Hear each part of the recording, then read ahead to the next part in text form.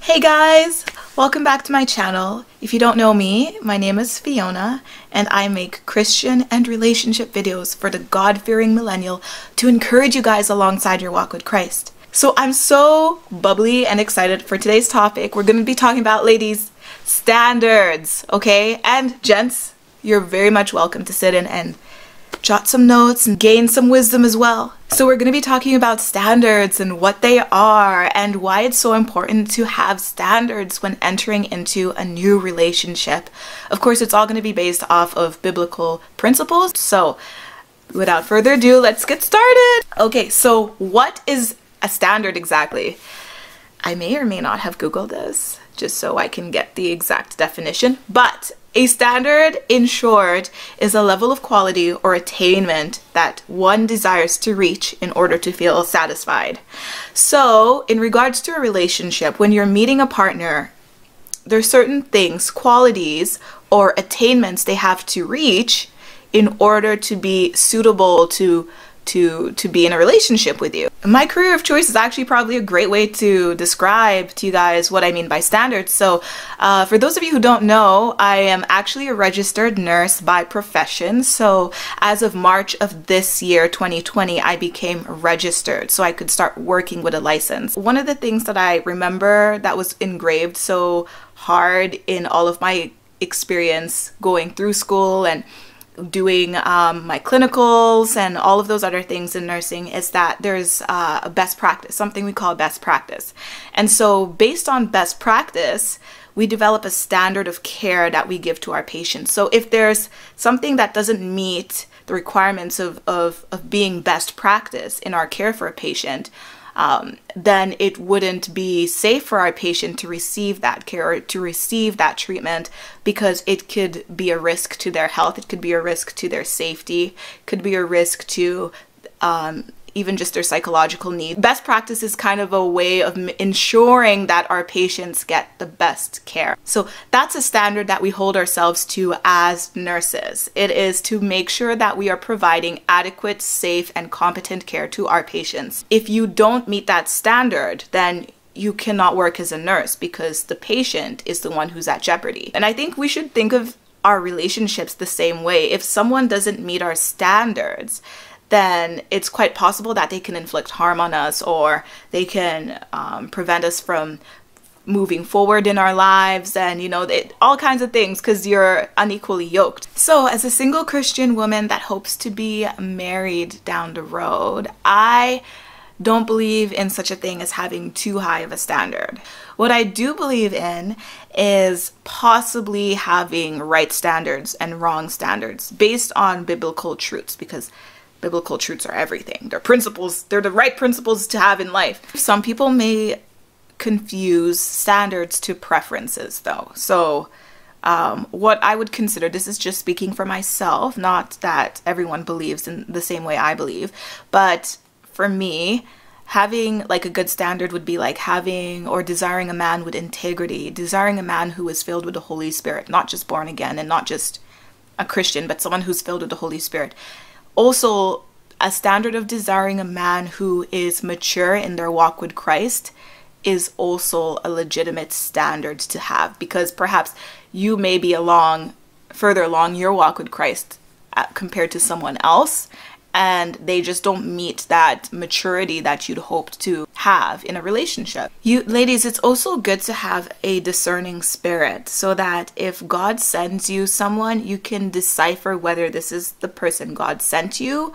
to find you and to pursue you rather than just the person that you know you dreamed about and and desire and therefore automatically this person becomes your future partner. Remember, the enemy is listening too to your desires and what your heart is longing for. So he might send you someone who looks a little bit like he could be in that package that you're hoping for, right? He might have exactly the preferences that you were hoping and asking God for countless nights. And here he comes and he's a whole counterfeit, okay? Full, complete counterfeit. So, not God sent, in short. Um, so, it's important to have a discerning spirit and I think the best way to develop the right desires is when you seek God. He's going to just give you like the more you intertwine yourself with Christ and and his characteristics and his nature, the more you're going to desire his things, the more you're going to desire Him. You start becoming the person you want to marry and you start producing the fruits of the Holy Spirit. And when you have those desires that are al- aligned with God's desires for you and your heart, and you know how much He loves you and how much He's chosen you, and so you want the best for yourself and you're going to stick to your standard, you will recognize that God doesn't want you to settle for anything less. That ain't it. No. God wants you to wait for someone who is so much better. And I feel like I really do believe in the scripture that says, No ear has heard, no eye has seen the great things that God has in store for the, those who love Him. And also, like the blessings of the Lord bring no sorrow. If you are in a relationship with someone and you feel like there's no peace in that relationship, and you feel like it's just not working out and you're working harder to maintain a relationship with someone who doesn't even want to be in a relationship with you or someone who's not investing at the same rate and not pursuing you, then that's in itself a standard. You there's a certain level of investment someone should be putting into your life. If they're not putting that level of investment, they may not they may simply just not be that into you. You imagined that they loved you. Maybe at first they showed you some signs and then you took it all the way to marriage and then now you're like disappointed. You have to have a standard that's based on what you see, what their actions are, and how much they really do show you they love and care about you. And if a man can pursue you the way Christ pursues the church, mm-hmm, mm-hmm, yeah Good start, good start for that kind of relationship. Ladies, standards are even more important for us because in the Bible it calls us as women to submit to our partners, to submit to our husbands, I should say. If you're going to submit to someone, you need to respect their leadership. You need to respect their character and just like trust them. Trust that they're going to lead you in the ways of God. Trust that they're going to lead you in a serving manner.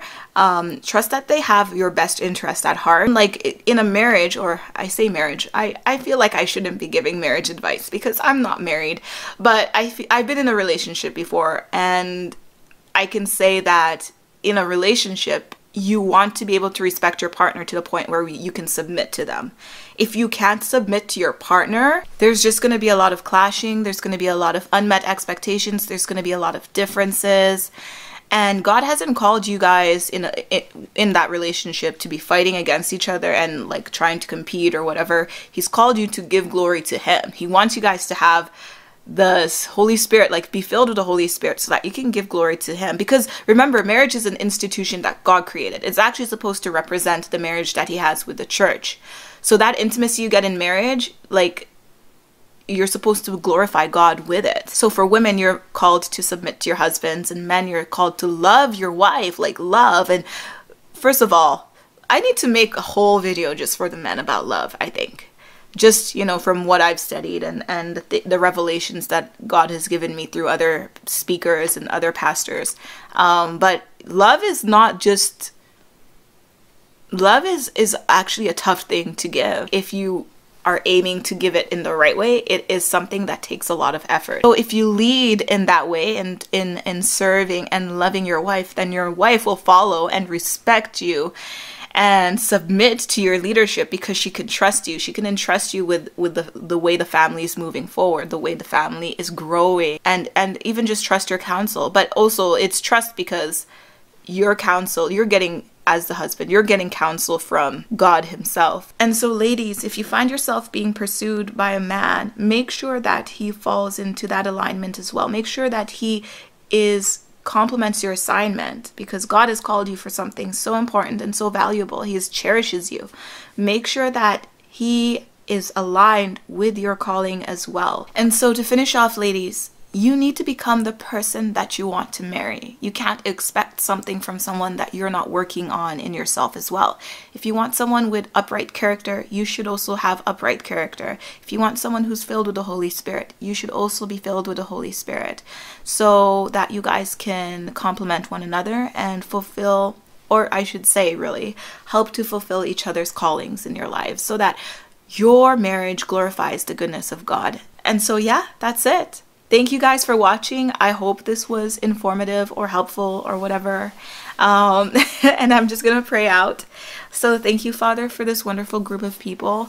I pray, Lord, that you may just cover them and protect them and also lead them um, again in your righteousness, Father. Continue to lead them. May their, may their hearts just be prepared for your calling in their lives, oh Father. And as they desire marriage, as they desire to move forward and be in a relationship, may you enter their hearts so that you can just help them develop the right standards in their in their hearts oh father help them to have standards where they can be focused on the character of the individual and also focus on your purposes for their lives so that they can pick someone who complements your will for their for their lives oh father it's in the mighty name of jesus that i believe and pray amen i'm always in the dark by now i'm always in the dark by then i don't know what it is but it is the lighting outside. It's the sun. It disappears. It doesn't like me sometimes. And now it's back. Yay. Okay, there we go. So, I will see you guys. Hope you guys have a blessed week. And love you.